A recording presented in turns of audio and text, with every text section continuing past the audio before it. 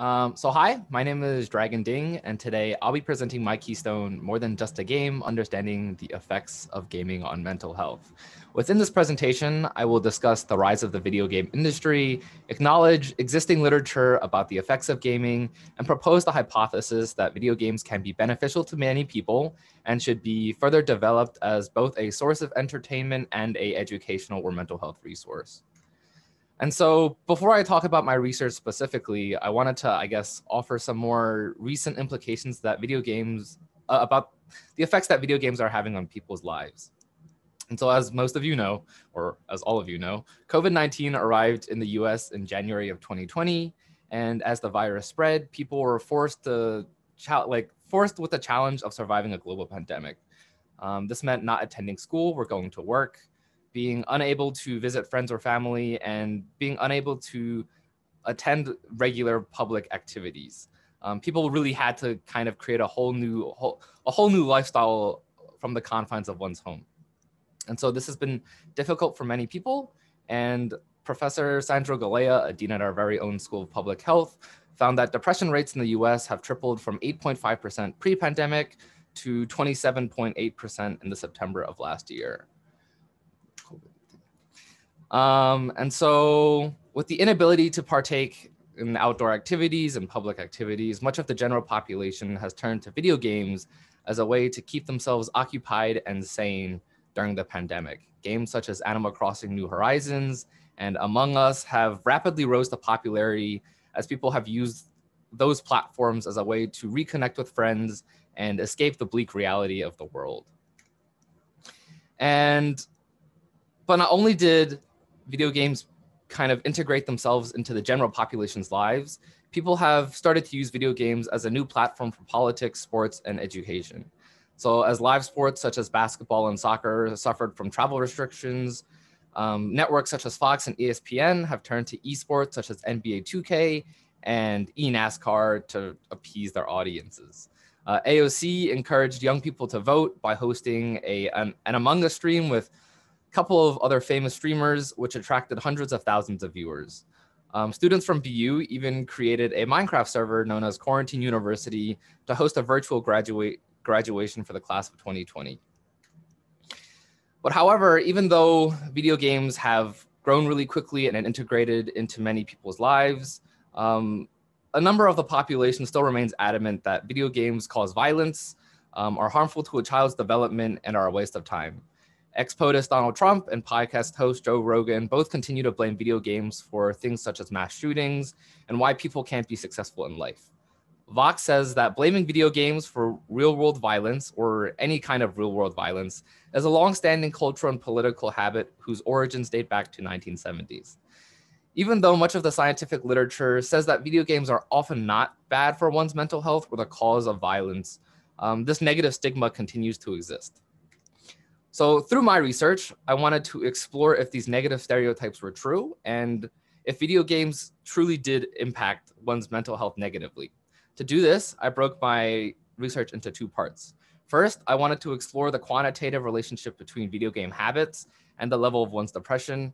And second, I interviewed five individuals to create a more holistic picture of what their relationship with video games looks like. So to dive more specifically into the quantitative aspect, I created a series of questions about one's perceptions and habits around video games and compared it to the Beck Depression Inventory, which is a standardized 21 item self-report rating inventory that measures characteristic attitudes and symptoms of depression. Um, originally, I was gonna do make gaming habits and perception my independent uh, variable, but with through further discussion with my advisor, we decided to decided to flip it and so the BDI became the independent variable because there is no current existing gaming scale that measured mental health. And so the data was collected from students belonging to multiple universities and gaming organizations. Um, I sent out a Google form that included questions about people's gaming habits and the BDI. The final sample size was 93 and only included people who played video games. Uh, and I used SPSS to conduct a t-test um, on to, to analyze my final data. And so while some questions have been excluded, um, I wanted to focus mainly on if people used video games to cope with their emotional pain. And as you can see, because the p-value is less than 0.001, um, my research found the, my hypothesis was supported.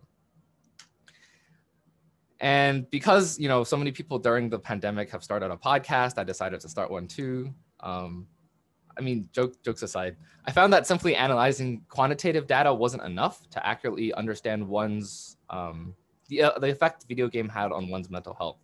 And so to kind of take the next step, I decided to interview five individuals um, about the impact gaming has had on their lives. And so while I had prepared specific questions originally, I found that letting the conversations be more free flowing really let the interviewee deep dive into what they wanted to talk about. Um, and so between the five people, each of them talked about different things. And um, the interviews were recorded through Zoom and uploaded to YouTube.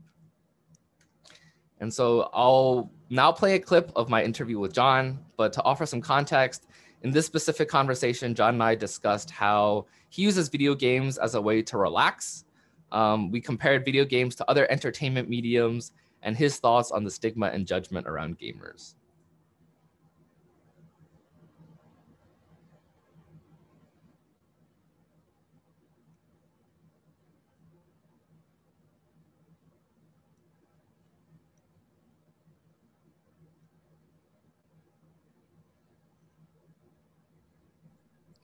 I'm dragging. I'm sorry. I don't think we're hearing the audio.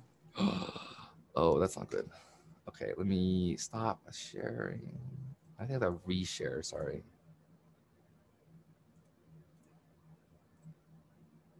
Okay. I love video games a lot. Got it. Yes. Good. Thank you. I, I want to preface whatever what I'm about to say with that. But video games, unless you find like you can generate a revenue from video games. You can generate a living, like you can be a streamer, esport, uh, esporter. Uh, you can develop video games. You can really generate. You can really make a productive living out of your video game passion. By all means, do it. I am not by any means disparaging any sort of video game related careers. That being said, if you don't see yourself in a video game related career at all, you don't think that that's ever a reality that you can really realize, then do then know that video games are a source of entertainment and that at the end of the mm. day is what they ultimately are video games are like netflix to other people are, are mm. like crocheting other people you know it's a source of it's how we unwind and how we unwind as human beings and in a productive society as, as ours if we didn't have sources of entertainment or ways that we could take our minds off a really hard day at work or whatever we were doing it, we'd have a we'd have a global pandemic of burnout and okay. I love sorry, video games a sorry. lot. Go next slide. Um, and so through each though, though each interviewee talked about different things some common themes showed up. And so they all found that video games can be beneficial to their mental health and for relaxation um, that people often use video games to fulfill something they're missing in their actual lives and that as long as video games are used in moderation and like in a controlled fashion, there will be often more positive effects than negative effects. Um, and so though while both my quantitative and qualitative data research uh, data yielded findings that supported my hypothesis, um, there are some limitations to what I was studying. And so first, the lack of a standardized gaming skill that measured mental health specifically uh, makes it difficult to understand if video games truly do impact mental health.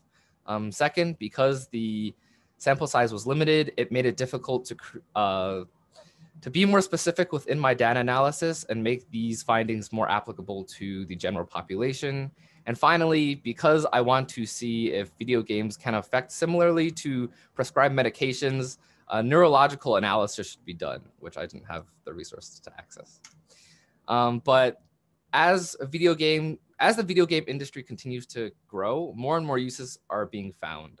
And so on June 15th, 2020, Akili Interactive's Endeavor RX, uh, there, that, that it became the first FDA cleared prescription uh, medication for attention in children with ADHD. And so this video game kind of is pushing the forefront of medical treatment.